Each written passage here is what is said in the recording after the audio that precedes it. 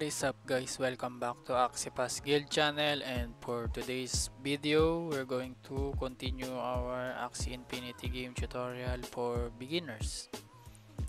Before we start, um, please like the video and subscribe to our channel as well and for those who are interested in monthly scholarship opportunities in our guild, Axie Pass Guild, you can join our Discord group for more information link in the description down below. Go check that out. With that being said let's start. Our topic for today is buffs and debuffs.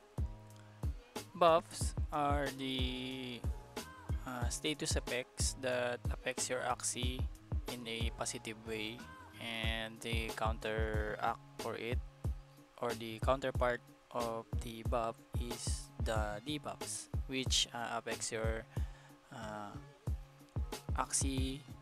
in a negative way. So if you're a gamer most of the games have this type this type of status effects. So in Axie Infinity there are three buffs because there are three um, stats only and 13 debuffs in the game so these are subject to change depending on the update or the rebalance. And we're going to discuss only the buffs and the debuffs itself. So when it comes to cards information there are some um, buffs and debuffs that has a certain conditions like uh, for example the garish worm or the uh, barb strike it needs to be chained in order to take effect the uh, debuff to apply to a certain target. So we'll get into that uh, soon but for now we're going to discuss first the uh, buffs and debuffs so in buffs there are only three types of buffs which are the attack up the icon with sword um, sword and a arrow pointed up. This by the way this, these all three buffs are stackable.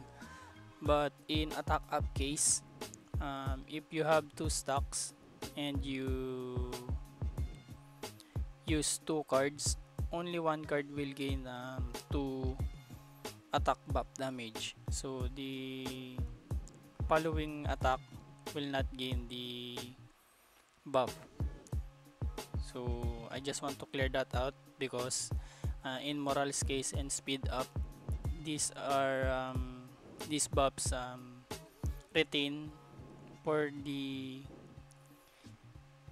current round or until next round. But in attack up case until you perform an attack that's the time that it will consume the attack buff. Unlike in moral and speed up even if you perform a attack or defend it will remain until uh, next round or current round. So let's go back. In attack up the icon is a uh, arrow pointed up and sword in moral a fire and pointed arrow up and for speed a boot and pointed arrow up. In attack up case it increases at next attack by 20% stackable. In morale up, increases morale by 20% for the next round. In some uh, cards, it lasted until next round. So these are stackable also. And for speed up, it increase the speed of an axie for the next round or until next round. These are also stackable.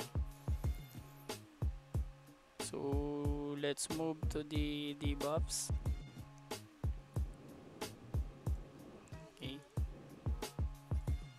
So let's move to the debuffs. Debuffs are status effects which affects your axie in a negative way. So currently there are 13 uh, debuffs in the game. These are the aroma, attack down, chill, fear, fragile, jinx, lethal, moral down, uh, poison, sleep, speed down, stench, and stun.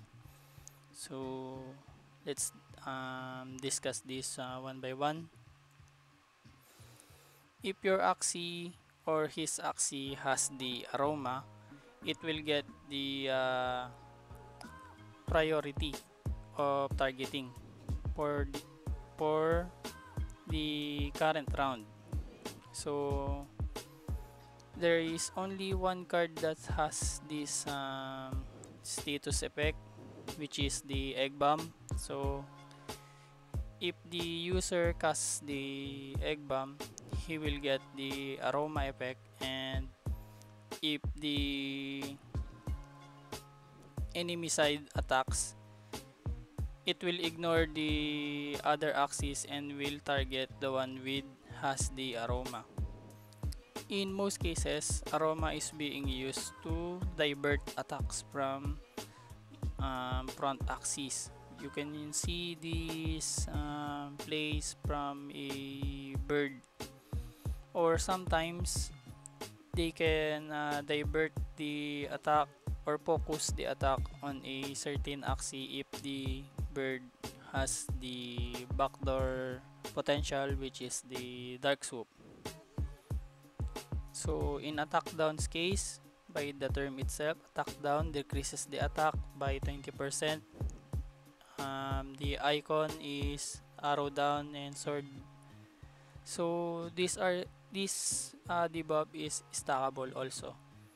Just like the attack up until you perform the attack that's the time that it will uh, be consumed. So you can stack up to I think 5 so that would be 100% decreases in attack. So the attack would become 0 I guess. Haven't tested it yet haven't seen it yet but uh, in terms of its uh, description and how the attack up um, function I think uh, it is the same way as attack down so number 3 or the third one is chill the icon is a snowflake I guess. Chill affected axis can't enter last stand so in our previous uh, episode we discussed how uh, last stand uh, works. So if you apply chill to a target it will ignore that uh, calculation and the axis won't and won't enter the last stand so the next one is fear. The icon is the an emoji with sweat in it. And if an axis has been affected by fear its attack will miss. The description here is affected axis can't attack but um, in my experience and how I see it you can still attack but your attack will miss. So the next one is fragile. I think the icon is a bandage. Fragile if you're uh, if you apply uh, fragile status effect on a axis the shield takes double damage for the next incoming attack. So for example if your attack is spicy surprise and the shield is 180 we're not going to use the damage calculation here this is just an example. If you, perform uh, spicy surprise and the axie has a fragile status effect and he has uh, 180 shield and you perform a 90 damage attack the shield will break because uh, fragile takes double damage from the shield for the incoming attacks. So let's move to the next one the jinx. The icon is a gray cloud I guess.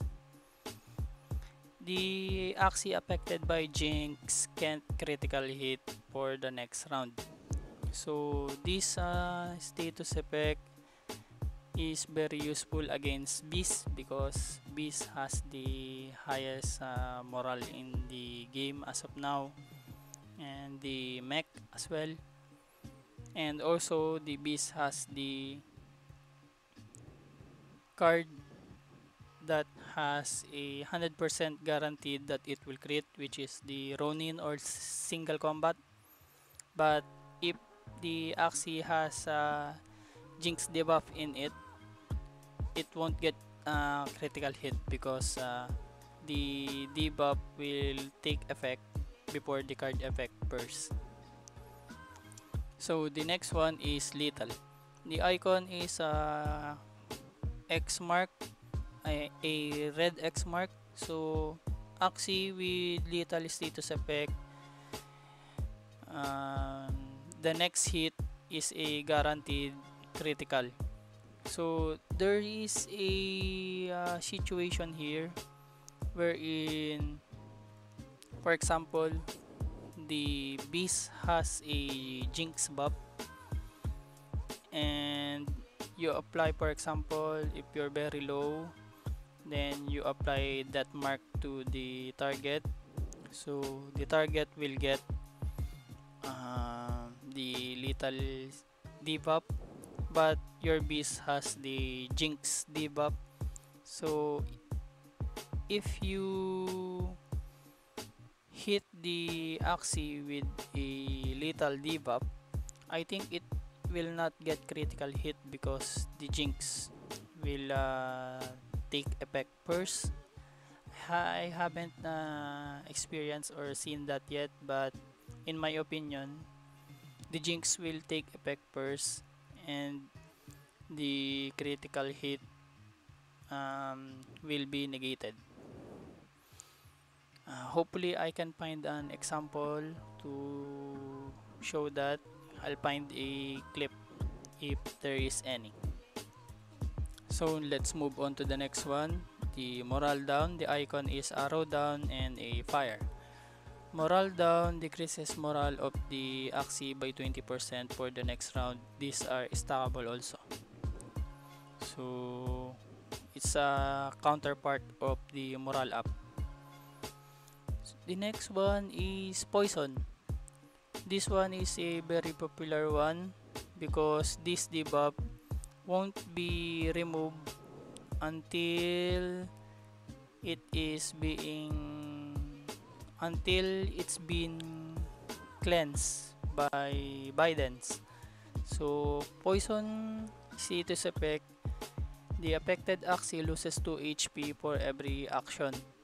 Meaning every time an Axie performs uh, performs a card attack or defend even though the attack uh, miss or the attack um, kills the enemy or whatever is the situation is if an Axii performs an action the affected Axii that has poison will lose 2 HP. So these are stackable also.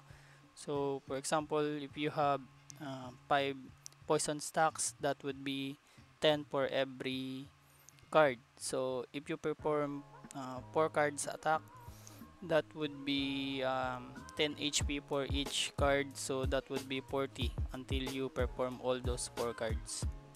So the next one is uh, sleep sleep icon is a sleepy emoji I guess I'm not sure but sleep uh, status effect is the next incoming attack ignore shield so there is only one card that has uh, that can apply this uh, debuff which is the soothing song. The card itself if you cast it right away the damage will ignore the shield. For example if the Axie uh, applies 50 shield and the bird uses the soothing song it will pass through the shield and apply the sleep uh, status effect and the next incoming attack one attack only the next one attack will ignore the shield. So not all four cards will or not the following cards will all ignore the shield. Only one card will ignore the shield because uh, if an attack is performed after the sleep status effect, it will consume the debuff. So the next one is speed down. Counterpart of speed up, the icon is arrow down and a boot. Uh, speed down decreases the speed of an Axie for the next round and these are stackable also. So let's move on to the next one, the last two. Next one is stench.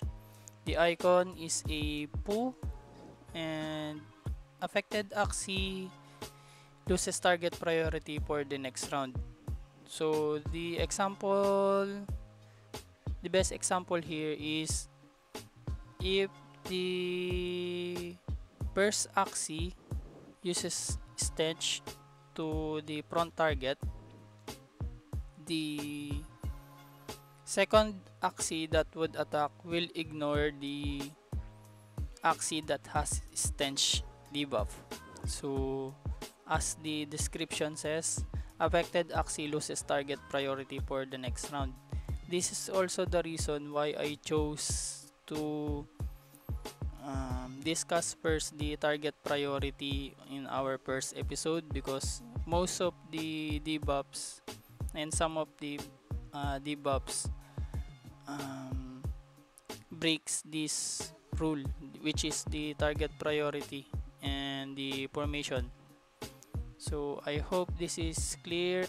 And for the last one the stun status effect the famous of them all because uh, if you're familiar with some of the videos they uh, show the Termi Termini or Terminators stun um, icon is a circle with swirling lines in it.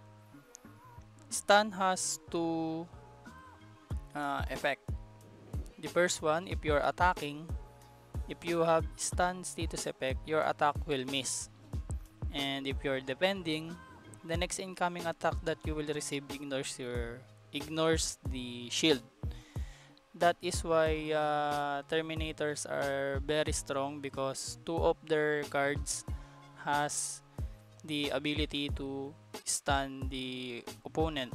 If you are defending, if your shield is break, which is the sticky goo, the attacker will get uh, stun and his next attack will probably miss or will surely miss not probably will surely miss because uh, the sticky goo's effect will um, activated and the attacker will get stunned.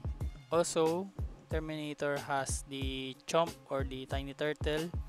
If comboed with two cards, the attack will have a stun status up to a target. So the next attack that you will perform after the uh, chomp or tiny, tur tiny turtle will ignores the shield. For most cases, the, the Terminators uses it. Uh, the card order is if they want to pass through your shield, if they know you have a high shield, or if they want to kill you right away, the card sequence would be Chomp, then Allergic Reaction or Thorny Caterpillar, and two or one other cards. So, I hope I explain all these uh, debuffs and buffs. These are all subject again to rebalancing and balancing depending on the update and to the developers. So I think that is it for this episode of Axie Infinity Beginners tutorial. I hope I explained the buffs and debuffs thoroughly. And again, if I miss something or I explain uh, some buffs or debuffs uh, incorrect, please correct me in the comment section down below. I would love to be corrected and I want to learn too just like you and improve my skills in the game as well. Um, also uh, if you find the video helpful please like the video and subscribe to our channel as well. Hit the not hit the notification bell also so that um, you will get notified if we uploaded uh, another episode.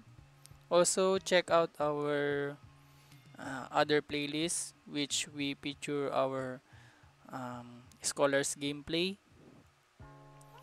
And if you want to be a part of it um, check the discord link in the description down below. Go check our um, discord channel and just please be respectful to others. Don't directly message uh, anyone just follow the basic rules and we're going to have a um, monthly scholarship giveaway i guess.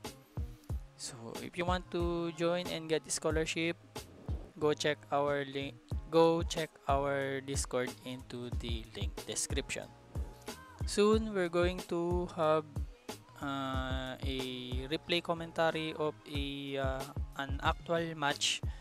But until I discuss uh, some of the theories that a beginners should uh, should have known or should know uh, that's the time that we're going to have an actual match replay I know uh, theory theories are uh, kind of boring but you don't need actually to um, internalize all of this because some of this um, will come to you when you experience the game.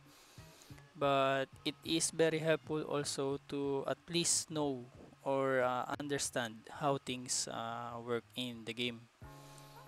So with that being said um, see you on the next episode